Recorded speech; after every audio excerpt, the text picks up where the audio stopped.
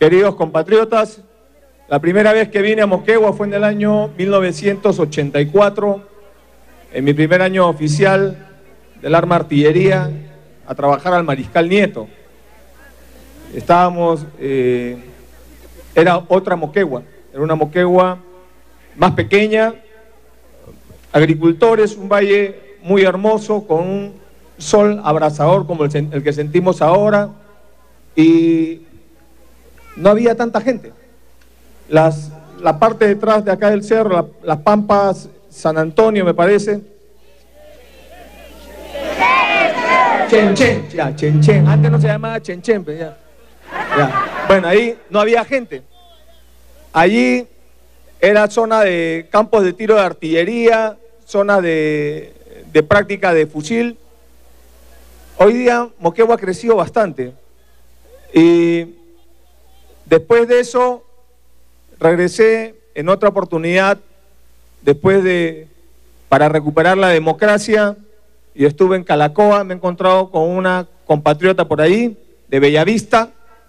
Eh, así es, así es, así es, así es. Así es. Bueno, hoy día quiero venir, es la cuarta o quinta vez que estoy viniendo como presidente ya a traer cosas, traer el desarrollo. Eh, soy consciente, y lo digo de todo corazón, que todavía no es suficiente. Moquegua es una de las regiones del país, una de las más pequeñas, pero que ha aportado bastante a la economía nacional gracias a las actividades extractivas. Y eso ha desbalanceado, ha creado un desequilibrio con actividades rentables, renovables, como es la agricultura, como es la ganadería, nuestros productos lácteos, y hoy día que el mundo recibe productos peruanos para la exportación, hoy día es una oportunidad de darle más fuerza a la agricultura. Moquegua puede tener un desarrollo balanceado, no solamente de una actividad extractiva, no renovable, sino también de actividades agrícolas renovables. Y el tema que siempre despierta pasiones, encontrones, etcétera, es el agua. Cuando he estado viniendo, he escuchado reclamos del agua, una serie de reclamos, hay de todo. Nunca se va a poder contentar a todos, eso también es cierto.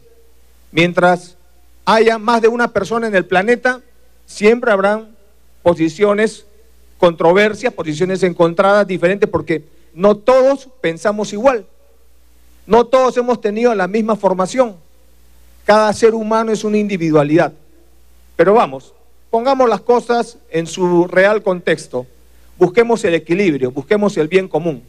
¿Qué es lo que queremos para Moquegua de acá 20 o 30 años? Tal vez más años de lo que podamos vivir nosotros. ¿Qué queremos de Moquegua para nuestros hijos y para nuestros nietos?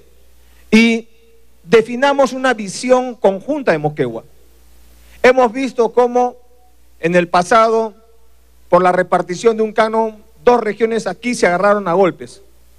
Cuando sus dirigentes me preguntaban, yo les decía, si Dios ha puesto un pan, una torta en la frontera entre Tacna y Moquegua, yo entendería que el mensaje era que lo compartan, no que se agarren a patadas. Eso es lo que yo entiendo. Otros no lo han entendido así. En fin, pero el mundo sigue avanzando y Moquegua va a seguir avanzando de todas maneras. Y hoy día el reto que tiene Moquegua es resolver el problema hídrico, el problema del agua. Que el agua, como lo ha dicho Martín, sea prioritariamente para el consumo humano, para las actividades renovables y después para el resto de actividades. Esa es la prioridad del agua. Por eso es que nosotros hoy día decimos, acá hay un grupo de agricultores posesionarios que tienen ya 10 años y se han acogido a las leyes que se han venido dando. ¿quién soy yo para negarle su título? Y bueno, y gracias a la gestión de su alcalde y de su presidente regional, Martín Vizcarra, hoy día se hace posible algo que me dijo la compatriota que subió, me dijo, después de tantos años hemos estado esperando este título. ¿Para qué le sirve el título? Para ponerlo en, su sala, en su dormitorio, para eso va a servir el título, ya tienen la propiedad. ¿para qué le serviría el título? ¿Para qué serviría el título? Crédito, pues, que ahora ya tienes el título, eres sujeto de crédito. Y además de eso, y además de eso, algo que la gente necesita. Para trabajar, tengo que tener la seguridad de que esa chacra la va a heredar mi hijo. La va a heredar mi hija. No vaya a ser que esté trabajando una chacra que mañana se la quitan a mis hijos. Entonces, con el título tienes la seguridad de que eso es tuyo, es heredable.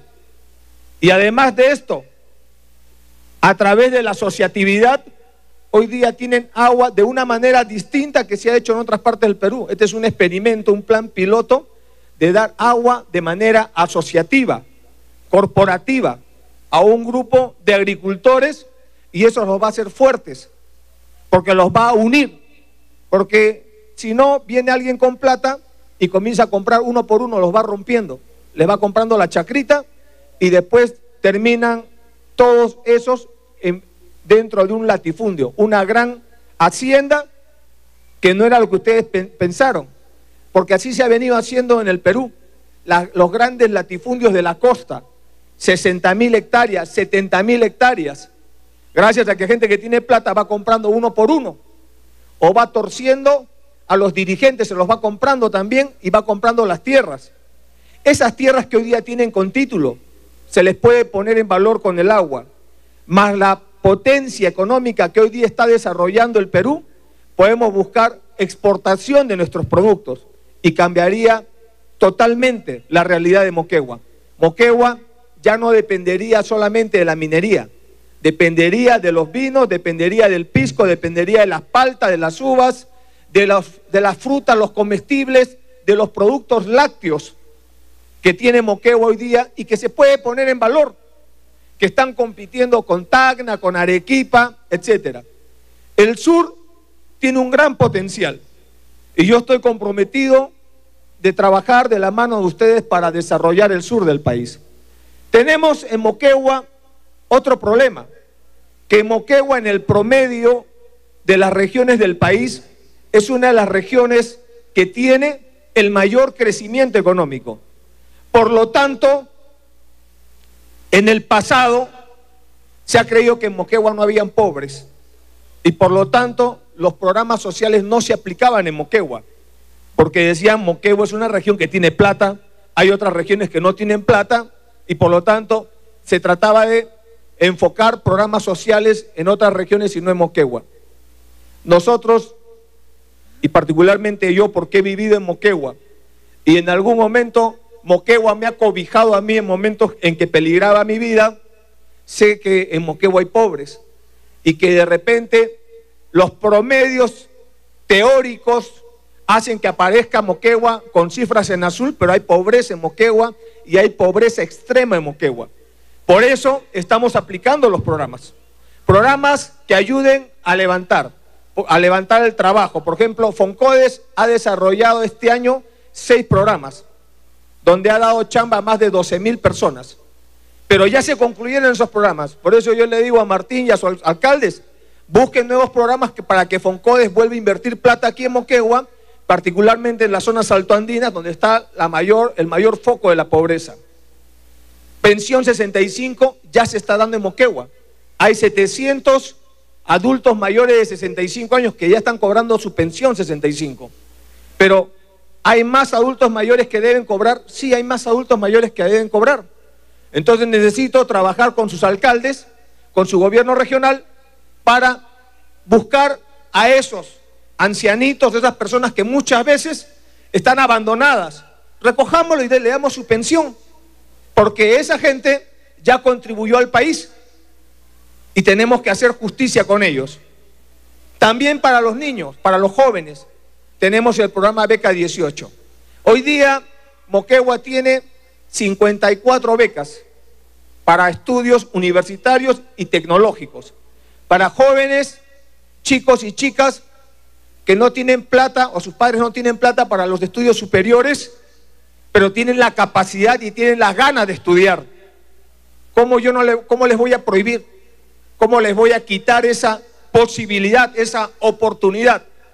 Nadie que tenga algo en la vida puede decir que se ha hecho solo. Todos en algún momento hemos recibido una ayudita, una, una manito que nos ha jalado. Todos en algún momento. ¿Por qué estos chicos no, no le podemos dar la mano desde ahorita? ¿Por qué le tendría que dar la mano cuando tenga ya 70 años? Mejor es ahorita, para que pueda tener más oportunidades de los que hoy día tenemos pensión 65 porque no se nos dio una oportunidad. Entonces, yo les digo, hoy día el programa Beca 18 ha dado 5 mil becas a nivel nacional. ¿Por qué Moquegua solamente tiene, tiene 54? El, próximo año, 2013, voy a dar 10 mil becas como mínimo. Y espero que ahora sí se pongan las pilas los moqueguanos, las moqueguanas, y pongan a sus hijos, pongan a sus hijos allí. Para entrar solo tienes que entrar por internet y te inscribes. Y de ahí pasas ya una, una verificación. O sea, no te estamos cobrando ni siquiera eso. Y la beca viene integral. Te pago tus estudios, te pago tu alimentación, tu pensión, si tienes que ir al Lima, etcétera. O sea, lo único que te vas a dedicar es a estudiar, tu única preocupación es estudiar. Y si ya no lo haces ahí, ya pues ya qué se puede hacer. Ya qué se puede hacer, pues, ¿no? Es como, como dicen, un señor que es bien católico, se pone a rezar porque se comienza a inundar Lima y se sube al tercer piso, ¿no? Y vienen pues a sacarlo y él dice, no, que a mí me vienen los bomberos a rescatarlo y él dice, no, a mí me, Dios me va a salvar. El agua llega al tercer piso, tiene el agua hasta acá. Viene un bote a sacarlo. No, dice, Dios me va a sacar. Viene un helicóptero a sacarlo. No, el Señor se ahoga y cuando va al cielo quiere reclamarle a Dios. Y lo primero que Dios le dice, oye compadre, te he enviado a los bomberos, te he enviado un bote, un helicóptero, ¿qué quieres ya? ¿Que yo mismo vaya? Entonces, les estoy dando la beca 18, les estoy dando pensión 65, les estoy dando cuna más, que hoy día está atendiendo a 800 niños entre tres meses, entre seis meses, perdón, y 12 años. Ya hay 800 niños moqueguanos que se están nutriendo y ya están siendo cuidados en estos cuna más. Entonces, todos estos programas los vamos a seguir expandiendo. El programa Juntos vamos a evaluar para que se incorpore también en Moquegua, en los sectores de pobreza extrema, porque en Moquegua no había Juntos, porque como les digo, Moquegua estaba visto desde la capital del Perú como una región donde no hay pobres, no hay pobreza extrema, que es el paraíso. Entonces, eso ya cambió porque he vivido en Moquegua, conozco Moquegua y además tengo un compromiso afectivo con Moquegua. Vamos a trabajar más con Moquegua. Estos títulos es un pretexto. Es importante, pero para mí era un pretexto porque quería verles la cara.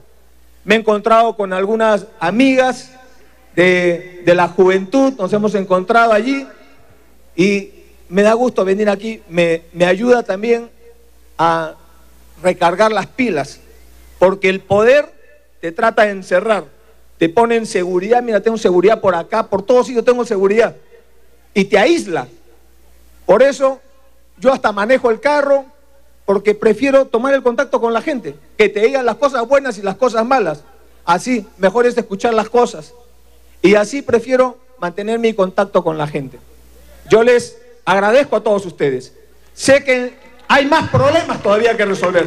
Tenemos que resolver el problema de los maestros, el problema de los jubilados, la deuda social, el problema de los pesqueros, pescadores artesanales, el problema de la minería. Tenemos problemas, el, el gas también. Tenemos una serie de problemas que resolver. Solamente tengo un año y medio de gobierno, nada más. No tengo los cinco años de gobierno todavía. Pero en el tema del gas ya se está resolviendo poco a poco. Ayer, por ejemplo, les cuento, en Lima se ha inaugurado el programa del Fondo de Inclusión Social Energético, que es un subsidio de 16 soles por balón de gas. Este programa, yo no sé si está aquí,